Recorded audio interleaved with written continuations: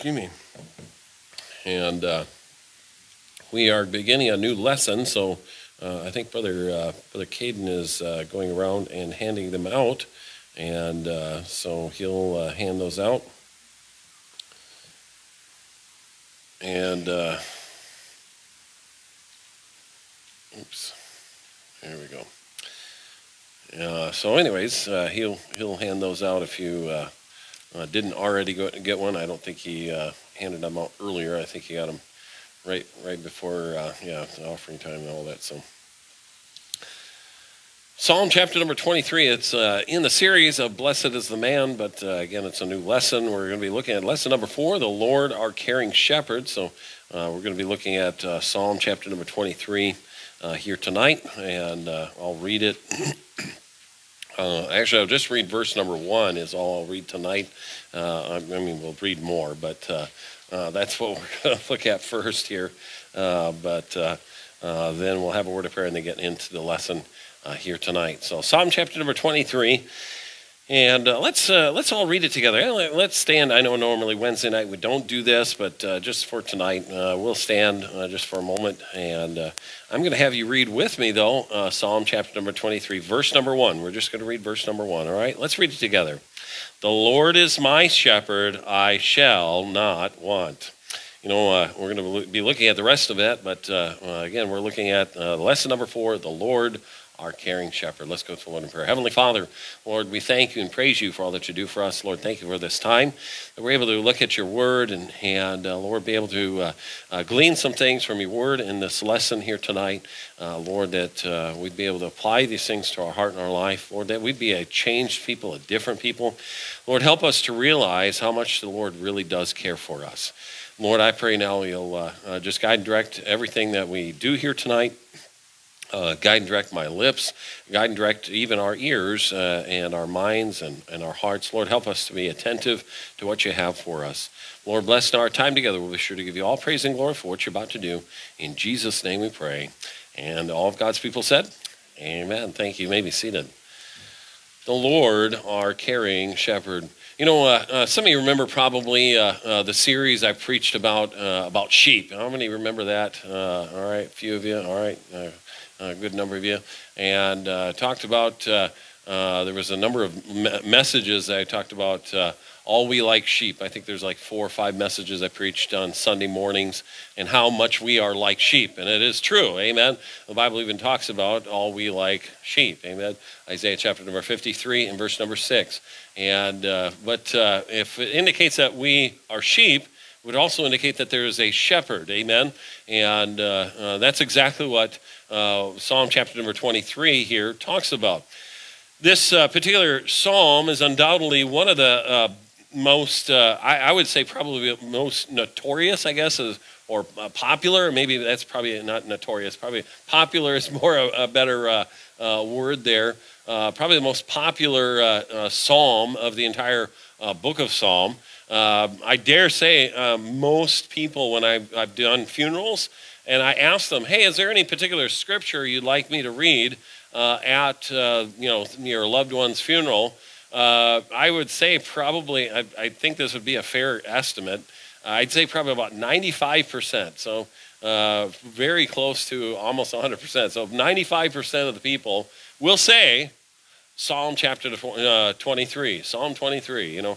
Uh, so a lot of people know of this uh, passage. It's a, uh, a, probably one of the best loved passages in the Bible. Whoever we are, though, wherever we are, and whatever circumstances we're in, it ha- has a message for all of us. It, uh, no matter what situation we're going through, no matter what uh, we're dealing with, it certainly has a message that's there for us. The whole psalm is a wonderful illustration of the truth expressed to us in Proverbs chapter number four. Turn there with me, if you will. Proverbs chapter number four. Keep your finger there in Psalm chapter 23. We'll come back to it here in just a, few moments here. But uh, Proverbs chapter number four, and notice with me there verse number 18. Psalm chapter number uh, four. Uh, I'm sorry, Proverbs. I, I'm sorry, Proverbs chapter number four and verse number 18 says, But the path of the just is as the shining light that shineth more and more unto the perfect day. And this is exactly what uh, this is an illustration of the Lord uh, leading us, guiding us, directing us. And that's what this verse is talking about. The, the path of the just is as the shining light that shineth more and more unto the perfect day. It, it certainly is a, uh, a great expression of uh, you and I as we uh, follow the Lord. If, again, if, if we're sheep, we're following our shepherd, or, or we ought to be following uh, the Lord as our shepherd. And the position of this particular psalm is very significant. You know, I don't know if you ever uh, pay attention. Uh, I hope. Uh, let me let me rephrase that. I hope you pay attention when you're reading the Bible. Amen. I hope you don't just uh, read the Bible to you know check that box and, and say, okay, I've I've done it for the day, and and I don't have to worry about it sometimes you need to pay attention. I've, I've said this before pay attention to the verses before and after a certain verse, uh, pay attention to the chapters before and after a particular chapter. This uh, particular uh, uh instance is true. Uh, if you notice in Psalm chapter number uh, 22, and if you notice in this particular one, it says in verse number one, Psalm chapter number 22, My God, my God, why hast thou forsaken me? Why art thou so far from helping me and for my uh, for uh, and from uh, the words of my roaring but if you notice uh, this particular psalm uh, psalm chapter number 22 is uh, you know mostly in written in the past tense so you know everything is talking about what's happened to the past and and it sp- certainly speaks of you know the lord being our good shepherd and certainly we're even told about that in John chapter number 10. So uh, look with me, if you will, at John chapter number 10. Again, we're going to be looking at a lot of scripture at the beginning of this, uh, uh kind of going back and forth, and you'll see why here, I believe, in a moment. John chapter number 10 and uh, verse number 11, it says this this is Jesus speaking, these are his words. John chapter 10, verse 11 says, I am the good shepherd. The good shepherd giveth his life for the sheep. And if you were to look back again in uh, chapter number 22, uh, this is actually speaking of, uh, this particular psalm is speaking uh, towards the future, but it has a past tense uh, in, in uh, the wording, but it's talking about when Jesus will die on the cross. So he was the, the good shepherd. He was willing to give his life for the sheep. So he did that. And in Psalm chapter number 24, if you were to look at that one, and uh, if you notice uh, all that it says there, I mean, for the sake of time, I'm not reading all of the chapters there. So I would encourage you to go back, read Psalm chapter number 22. I would encourage you to read uh, uh all of Psalm chapter number 24.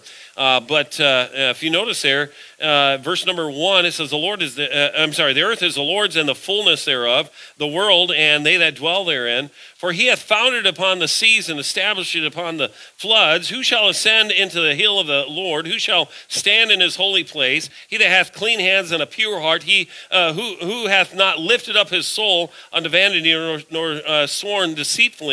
But uh, then he goes on to, uh, if you notice uh, in verse number seven, lift up your heads, uh, O ye gates, and be lift up, ye everlasting doors, and the King of glory shall come in. Who is this King of glory? The Lord uh, strong and mighty, the Lord mighty in battle. Lift up your hands, O ye gates, even lift them up, ye everlasting doors, and the King of glory shall come in. Who is the King of glory? The Lord of hosts. He is the King of glory. Of course, uh, uh the last word there says Selah, or it is, it is finished, or it's uh, good enough. Uh, but uh, um, or so it is. But anyways, uh, um, he's talking about when in the future tense.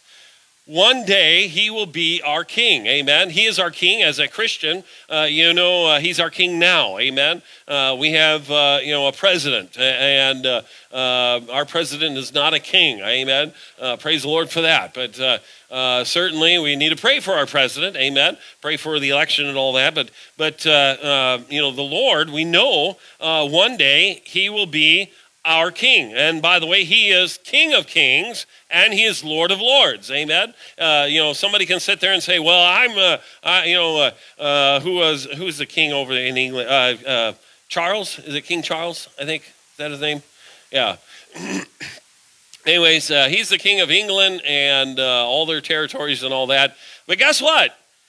One day, the Bible tells us every knee shall bow and every tongue shall confess that Jesus Christ is Lord. Amen. Uh, so one day, even uh, uh, you know, King Charles, as much as uh, uh, you know, he is uh, as far as his majesty and all that, his he he is the king. But one day he will bow the knee to the Lord Jesus Christ. You know, our president, our current president, he'll bow the knee to the Lord Jesus Christ. President Trump, who was our president, he'll bow the knee to the Lord Jesus Christ. We can go back to every single uh, president that we've had. we've had 46 presidents in our nation's history. Amen every single one of them will bow the knee to the Lord Jesus Christ. It doesn't matter who the person is. Doesn't matter. We can go back all the way to uh, uh, you know the, the, every single king and every single ruler uh, that's been you know uh, even Alexander the Great, even uh, Napoleon. Every single one of them will bow the knee to Jesus Christ because he is the king. And one day, that's what this uh, particular psalm is talking about. In the future, he's going to be king of glory. Amen. That's what he's talking about here. And I want you to notice in uh, 1 Peter chapter number uh, uh, th- uh, 5, 1 Peter chapter number 5, excuse me, 1 Peter chapter number 5, and notice with me there, verse number 4.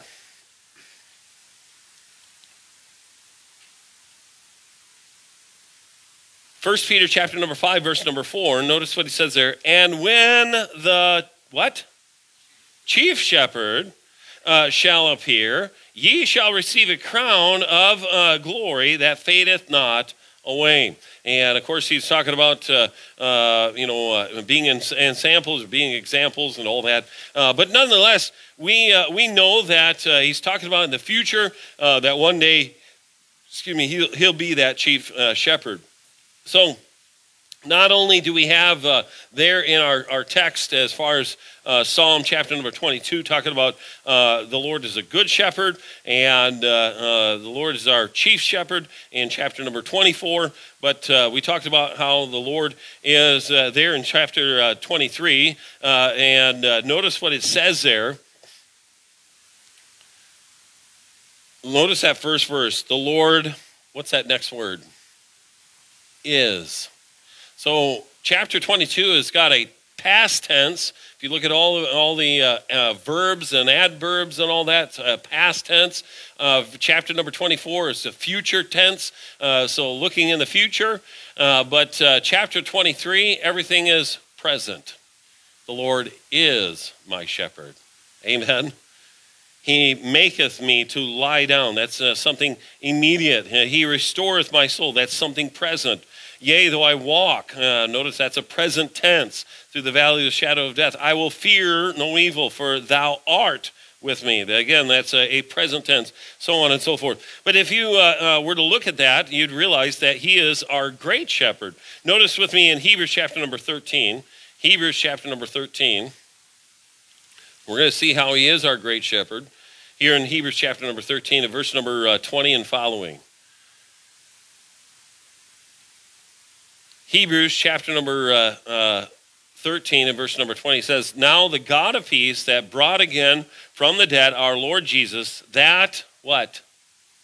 Great shepherd of who? The sheep, through the blood of the everlasting covenant, make you perfect in every good work to do his will, and working in you that which is well pleasing in his sight through Jesus Christ, to whom be glory forever and ever. Amen. So we see there uh, uh, something that happens there in, in chapter 22. As I said, uh, there's a past tense. Uh, chapter 23, there's a present tense. And chapter number 24 is a future tense. So he's our good shepherd. He's uh, uh, our, our, great shepherd, I'm sorry, the one that's going to take care of us. And the key that unlocks the whole psalm is the opening phrase there back in Psalm chapter number 23. Again, look back at that text. He said, The Lord is my shepherd. He is a shepherd, but best of all, he is my shepherd. He's your shepherd. He's personal. Amen. He cares about you. You know, uh, uh, the thing about a shepherd is the shepherd cares for the sheep. Amen. If you were ever to look at, I, as I said uh, uh when I did the series on uh, sheep, uh, it's it's very interesting. I think it was sheep101.info. I think is a website, if I remember correctly, and that's it's something that's kind of ingrained in my brain right now. But um, if you look at uh, uh, what shepherds do as far as even uh, even in the scriptures. You have examples in the scriptures. But the shepherd cares for the sheep. He'll go out of his way. He leaves the 99 and goes and find the one lost sheep. Why? Because he cares even about that one lost sheep. Uh, he uh, uh, will bind up uh, the wounds. He talks about uh, pouring air, uh, oil uh, uh, uh, on the head, you know, that runs down, and, and there's all kinds of things. There's the oil. There's there's a reason why they put oil on the heads of of sheep, and it's they one of the things that can drive the sheep insane is all the bugs and flies and things like that. And so the uh, shepherd would put oil uh, to uh, uh keep the, uh, you know, all the um, uh, bugs and things away, flies especially, away from the, you know, from the eyes and from the, the head of the sheep. But he is my shepherd. He's your shepherd. He is the shepherd of all shepherds. But let me ask you this is he yours? Have you allowed him to be your shepherd? Again, a shepherd is one that says, Hey, little sheep, follow me. Amen. And the Bible tells us that my sheep hear my voice and follow me. Amen. The problem with a lot of Christians is that they'll sit there and say, Well, I'm a, I'm a, a sheep of the Lord Jesus Christ, and yet uh, their actions speak differently. They're going down a different path. They're doing their own thing. And, and the Lord's saying, hey, follow me. And, and you know, uh, uh, there's a lot of uh, Christians that are do, off doing their own thing, going their own direction. And, and uh, you know, it's like, well, okay, you're not following the Lord on this. But he is, is he yours. It, it is only when we know him that the blessing of the rest of the psalm becomes ours. It is possible to know the psalm without knowing the shepherd, though. You can know this psalm. Again, this is a very popular verse. If I, you know, uh, if I started in verse number four, yea, though I walk through the. See, you know it. Amen. I, I don't even have to, I can probably, uh, you know, uh, start one of the verses and you'll know it. Why? Because you, you know about the verse. Amen. But it is much better to know the scripture and the uh, shepherd as well. So, if the Lord is my shepherd and your shepherd, there are some things that this denotes. And we're going to look at some of these things. First of all, number one, it denotes uh, possession. Possession. Notice again what it says there in verse number, tw- uh, verse number one of Psalm chapter number 23. The Lord is what? My shepherd. And then he says, what else? I shall not want. Uh, there's there's something about when we make uh, you know the Lord our shepherd and we allow Him to be our shepherd. Uh, it denotes a possession. He's uh, my shepherd. He, uh, I belong to Him. He belongs to me, but I, I belong to Him. And therefore, because I belong to Him, I'm going to follow His voice. I'm going to follow what He what He does. But uh, uh, verse 1 has two parts, and the one cannot be separated from the other. You see, possessing Christ, uh, we possess all things. If he is mine and I'm his, how can I ever want? Uh, how could I ever get to the point where I I, uh, I want? You know, uh, again, he's talking about uh, uh you know I, I, that I shall not want denotes a that God provides everything for us, and we're going to see that. But when when we belong to the Lord, he he takes care of us. Look with me, if you will, at Philippians chapter number four. Philippians chapter number four. I know there's a again uh, there's a lot of scripture in this particular lesson, and it is what it is. More so toward the beginning, I guess, uh, than the end of the lesson. There is some scripture that we'll look at in the end of the lesson, but not as much, I guess. Well, Philippians chapter number four, and notice with me verse number 19. Philippians chapter number 4, verse number 19. But my God shall what? Supply all, all your what? My, but my God shall supply all your need according to his riches and glory by Christ Jesus. So it denotes to say that because we belong to him, He's the one that takes care of us. He's the one that uh, uh, provides for us. You know, uh, um, a shepherd will do a number of things. A shepherd will make sure, and we'll, we'll again, we'll see some of this in in the uh, uh, text there in Psalm chapter number twenty-three. But uh, a shepherd will provide food. uh, a shepherd will provide water and a shepherd will provide uh, a place of rest, a place where uh, the sheep can, you know, relax. And and uh, sheep that are on edge, they're they're just not uh, uh, able to, uh, you know, function properly and things like that. But in Colossians chapter number two, I want you to notice with me there, Colossians chapter number two. And notice verse number 9 and 10. It says this For in him dwelleth all the fullness of the Godhead bodily, and we are what? Complete in him, which is the head of all principality and power. Christian, listen carefully. Too many times we always think that there's something else out there. There's something more. Uh, there, you know, we, we look at the. Uh, uh, I've seen uh, I've seen cows in uh, um, standing in clover that is up to their belly, and they're reaching their neck through uh, the fence, and they're doing this. They're trying to get some uh, ugly looking, you know, almost brown grass because in their head they think that the grass is greener on the other side of the fence. And there's a lot of Christians that are like that as well. They think there's got to be something better, there's got to be something more. And God just says, hey, I look, I'll supply your need. You just got to uh, allow me to be your shepherd, to guide and direct you, and I'll guide you to the place where you need, uh, you know, to get the right uh, nourishment. Amen. We're going to see that.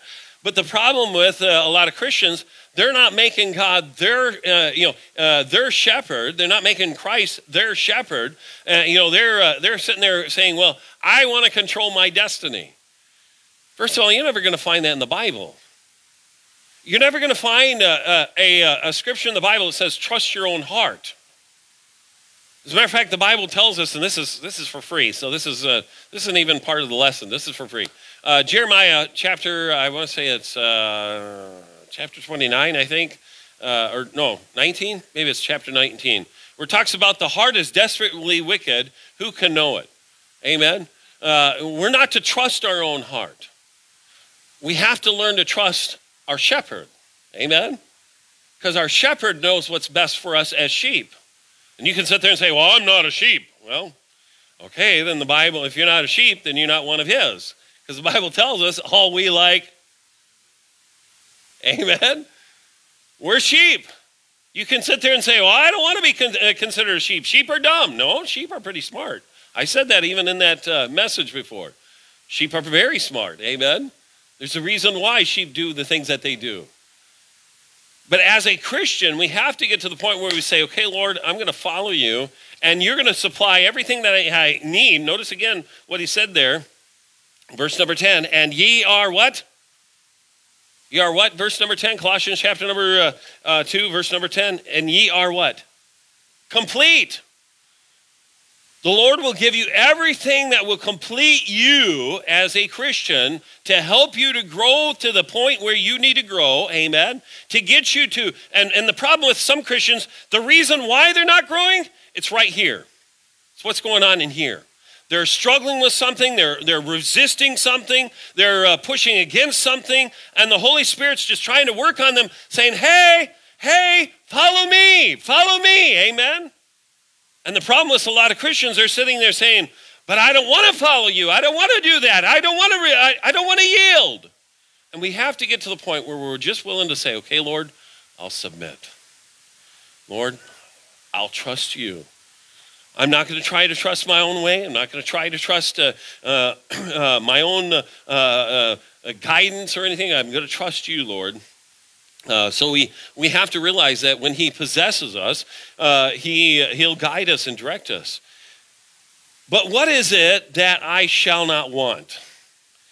What is it that we aren't going to have to deal with as far as you know, you know, not wanting? Well, turn with me, if you will, to Psalm chapter number thirty-four. Psalm chapter number thirty-four.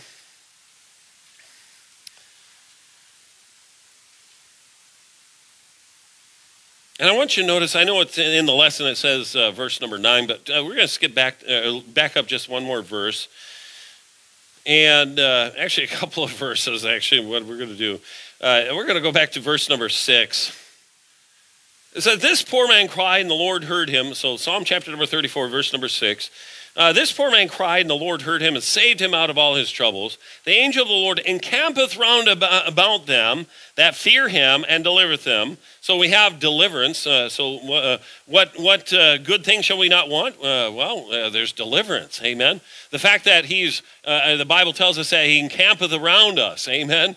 it means he's a a a guard, if you will, a fence, if you will, that prevents. Remember, Satan can't do anything to you, what, but what permission that he's gotten from God to be able to do to you. How do we know that? The book of Job. Amen. Uh, there was a hedge of protection around Job, and and uh, we know certainly that uh, there is that around us because uh, the Bible uh, tells us that greater is He that is in you than He that is in the world. So we know that God is greater than Satan.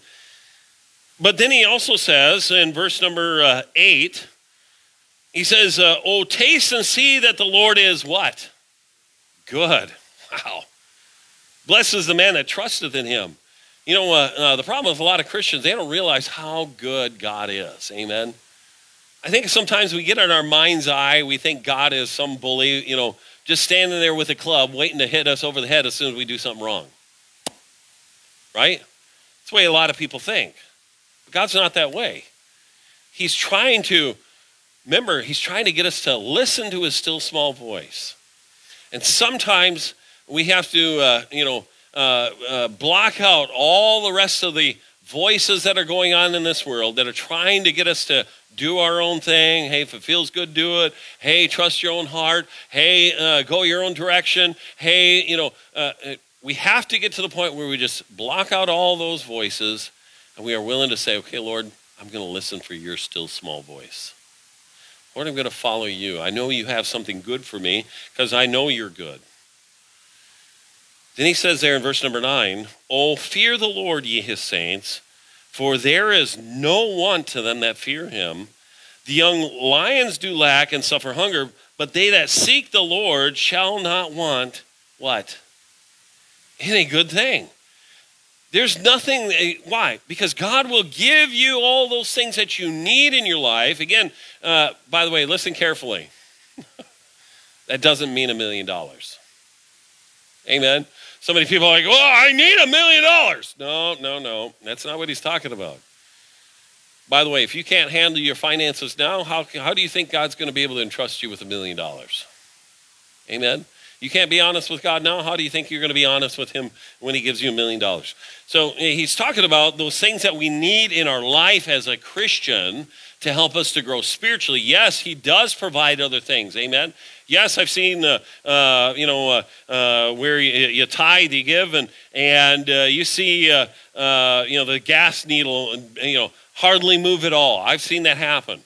I've watched it with my own eyes. I'm like, I know how many miles I put on, and this uh, gas gauge should be at least, you know, down to quarter, you know, three, three quarters of a tank. It should have burned up a quarter of a tank at least already. And but no, I've watched it sit there at the full mark. I've watched God do uh, miraculous things, but God desires to give us those good things that that uh, uh, notice again he said there uh, uh, but they that seek the Lord shall not want any good thing. So notice the good things which are enumerated then to us back in the book of Psalm chapter number 23. Notice in Psalm chapter number 23, the Lord is my shepherd, I shall not want. You know what the shepherd does? The shepherd constantly protects the sheep. Amen. So there's there's one thing, uh, security. Um, you know, you ever you ever had something uh, stolen or taken from you? Amen. Boy, uh, I remember when we had uh, uh, the safe here at the church uh, stolen. Boy, I tell you, that was it was a sick feeling. It was like, what in the world? And and come to find out, it was a neighbor kid that lived next door, and and uh, he later bragged to a guy in, in uh, prison who uh, ended up working with a guy that was in our church. And he said, Hey, I know who stole uh, the, uh, uh, the safe from your church and, and all that. We reported it to the police and all that. But, anyways, nonetheless, you know, it caused us to say, okay, we need to beef up some security things. We used to keep the church building unlocked. You know, then we're like, okay, we got to lock the building. Um, okay, well, before when uh, uh, people had keys. Almost everybody had a key for my office. Well, guess what? Now we limited how many people had uh, keys to my office. We're like, okay, well, we can't give out so many keys. And and uh, then we limited how many keys were uh, made for certain things. So now it's like, okay, there's a limited amount of people that have uh, keys for the building or keys for the office or whatever, and uh, uh, and then we have them sign a, a disclosure and all that. And uh, but anyways, and we beefed up some security. You know, we've done that here at the church. You know, as far as when services start, we lock certain doors. There's a reason why. you know, it's not because we're we're trying to lock everybody out. No, it's because your pastor has gotten information about uh, things that have happened in various uh, ministries and churches, and it's like, okay, how can we prevent that from happening here? Okay, hey, uh, let's have some cameras. Oh, hey, let's uh, lock certain doors uh, once the service starts. And why? Because we, we're trying to do our best to keep people secure. But listen carefully God gives us that security because the Lord is my what? My shepherd. The shepherd is the one that keeps the sheep secure. He watches for the wolves. He's watching for uh, uh, those that are, are trying to cause harm, and, and he's uh, willing to lay down his life for the sheep. Amen. What security, what more secure uh, things do you, uh, you know, that to me is a good thing when you just are like, hey, I can be secure in Christ because he is my shepherd. Amen. What an encouraging thing to know he's, uh, uh, he provides uh, security. So that's one of the good things. Notice what else happens. In verse number two and then verse number five, it says this He maketh me to lie down in green pastures. He leadeth me beside the still waters. Then, verse number five Thou preparest the table before me in the presence of mine enemies. Thou anointest my head with oil. My cup runneth over. You ever, uh, you ever been filling something and you weren't paying attention, and all of a sudden the cup was like really full and you started running over. Amen. I know I've done that, and I'm like, whoop, whoops, uh, that was a little full. Amen. You suck it off real quick there and get as much off of it. And and uh, I don't know about you. I like I like going to. Uh, I'll give a free plug for A and W tonight. I like going to A and W and the root beer. Amen. Oh, it's really good. And uh, put it in there and that froth. Amen. That foam when it gets really foamy, I like getting it so it's just barely bubbling above the uh, the the rim of the uh, cup, and then I do this. I suck down. I, I, I enjoy that froth. Amen. It just some of you are like, oh, but that's uh, carbon dioxide. Who cares? I like drinking it. Amen. I, I'll suck it right down. Amen. But you know, he's talking about a number of things there. It says, "The Lord is my shepherd; I shall not want." He leadeth me in what? Green pastures. There's places that God leads us that we need that spiritual nourishment, that, that uh, uh, place that we need to just say, okay, Lord, I need to feed. Amen. And I'm so glad that God, uh, this is a good thing that God desires to give to us to feed us spiritually. I had somebody one time, they said, Pastor Hallett, I'm not getting fed spiritually. I said, okay, all right. So then I began to you know, pay attention to how often he was there. In a, uh, in a six month period, he was literally at three services. Now, not three days, we're talking about three actual services. I went to him, I said, Hey, brother, I figured out your problem. He goes, What? He's like, uh, you know, your messages probably aren't uh, got enough meat on it. I'm like, nope, that's not the problem. I said, the problem is, is you're not here at the table to get the food that's presented. Oh, how dare you blame me? I'm like, no. I said, look at these services. This is when you were here. In the last six months, this is how often you've been here. And he tried to, uh, you know, make excuses for it. And I just told him, I said, look, I'm just telling you, hey, the food is being put on the table it's up to you whether you're going to eat or not. By the way, listen carefully. God can lead you to that green pasture, but again, if you're resisting Him, if you're sitting there saying, I don't like this meal, I don't like what's, uh, what the pastor's preaching today, I don't like that he's preaching on my sin, I don't like how, how he said that, I don't like. Hey, God's trying to lead you to some green pastures so that way you will be able to get fed spiritually and be able to grow as you should. Amen. Something else he did, notice uh, the latter part of that verse number two. He leadeth me beside the what? Still waters. Sheep are very interesting. They're, they're very fickle. Uh, uh, they, uh, again, they're very intelligent. Uh, you know, uh, there are some dumb things that they do. You're like, what? Didn't you see the ditch here? You know, I saw a video one time of this guy. He does everything he can to help this uh, sheep get out of the ditch, and it starts running down the road, and all of a sudden it jumps right back into the ditch further up the road. You're like, what, did you not see the ditch up, up there? It's the same ditch here. Amen. But sheep are also very fickle in that they, they don't like rushing water.